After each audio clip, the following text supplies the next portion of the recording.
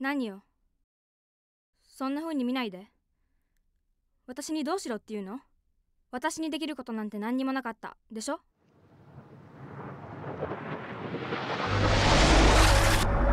問者です。マヤ？マヤはそんなに大丈夫じゃなさそうね。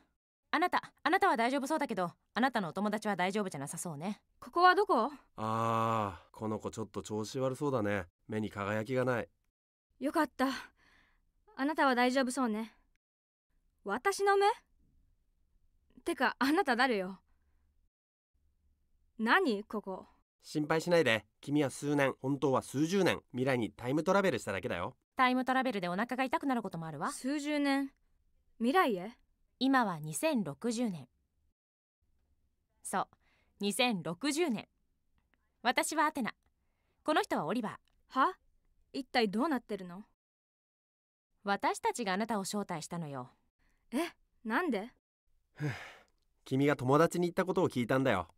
私なんか言った？僕たちは何があったかも知ってるんだ。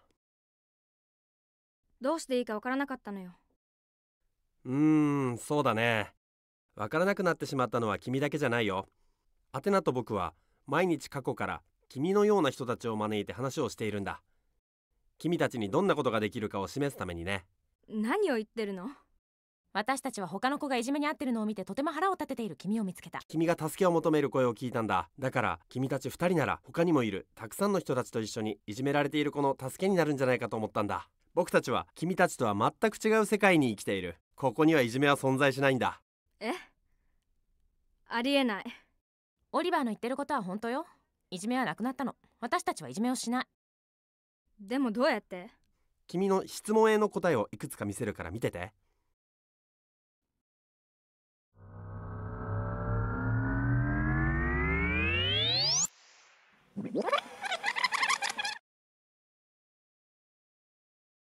何これ？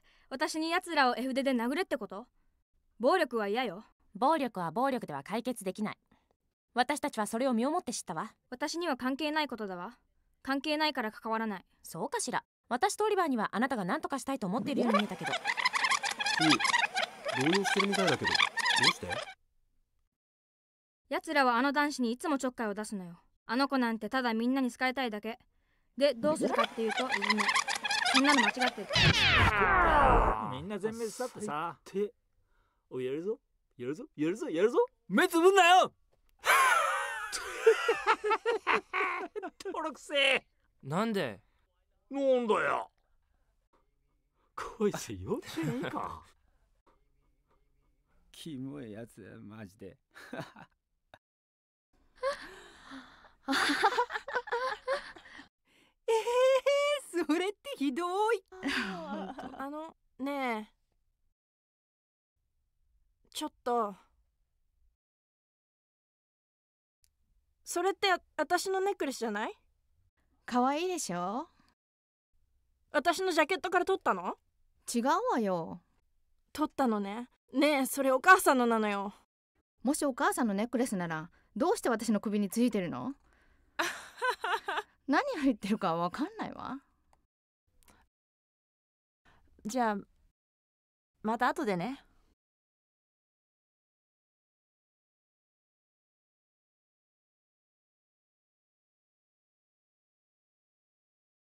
あの子は毎朝お腹が痛いって言うの。俺は一人ぼっちだ。死にたいあの子友達が全くいないのよ。かわいそうにね。彼女は自分を傷つけようとして医者に連れて行かれたよ。みんなはそのうち良くなるさって言うの。でもいつ良くなるの？学校に来て勉強することすら怖かったの。みんな苦しんでるのに誰も言うことを聞いてくれない。先生やカウンセラー親にも相談したけど誰も聞いてくれやしないの。私にはどうしようもないわ。確かに一人じゃどうしようもない。でも変えようと思えば変えられることが思いのほかたくさんあるもんだよ要するに違う行動をとれば結果は違ってくるってこと。それは間違いない。それでいじめがなくなるわけ？冗談でしょ？君の時代に始まったいじめをなくす運動。君のような人たちが状況を変えたんだ。互いをもっとリスペクトしてね。いじめっ子たちに声をかけ大人たちに訴えた。でどうなったかって？じゃあこれ見て。笑えるだろ？な？おいあれ見ろよ目つぶんなよ。みんなクラスに戻りなさい。早く。行きなさい。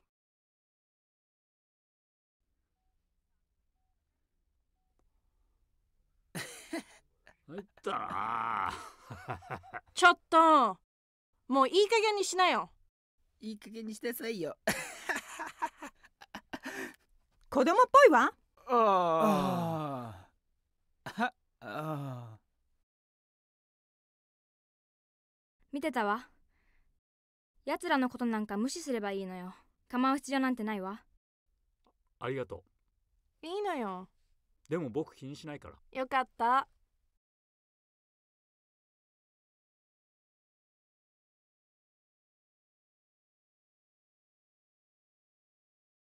あのねえ。ちょっとそれってあ私のネックレスじゃない？可愛いでしょ？私のジャケットから取ったの？違うわよ。取ったのね。ねえそれお母さんのなのよ。もしお母さんのネックレスならどうして私の首についてるの？何を言ってるかわからないわ。今度の劇であなたが主役やることになったのが気に入らないのよ。だからってお母さんには関係ないわ。私怒られるわ。あの子に話してきてあげようか？ありがとう。どうしたの？彼女がネックレスを持ってるのを見て返してって言ったんだけど返してくれないの。あれお母さんのなの。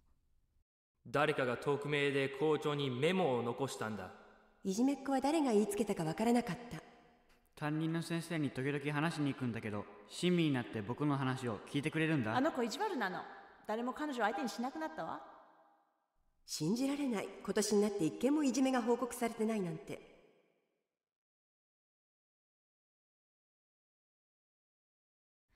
ちょっと待って。そんなことしたって何にもならないわ。これは始まりに過ぎないの。男子たちはその子をオンラインでけなさなくなったわ。女子たちは仲直りしたわけじゃないけど敵意はなくなったわ。クラスメートの子が助けてくれた。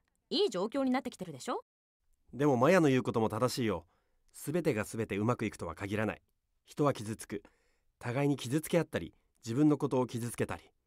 でもそういうこともだんだんなくなってくるんだ。互いに気を配り合って違う行動をとるようになったからさそれで本当に少なくなるの？嫌がらせもいじめも？いじめは重大な問題だけど近くにいる人がちょっとした行動を起こすだけで良くなるの。完全ではないけれどでも良くなるの。物事良い方向に向かえば時間とともにさらに良くなるものよ。君が助けた子話しかけるだけだったけどでもその子がクラスメートを助けた。一人ずつだけどそれが連鎖反応で全国に広がればどうなると思う？小さな積み重ねだけれどそれが世界に広がればアジア欧米アフリカ中東オーストラリア。それがこれまでの歴史で起こったことなの。君のおかげだよ。そして君のような人たちのおかげ。訪問者です。ここまでのようね。あなたが何とかできること分かってもらえた？うんアテナ。みんな分かりかけているようだよ。待ってもっと教えてほしいことがあったらどうすればいいの？自分に問いかけてよく考えて答えは見つかるはずよ。心配しないで。君は数十年未来にタイムトラベルしただけだよ。タイムトラベルでお腹が痛くなることもあるわ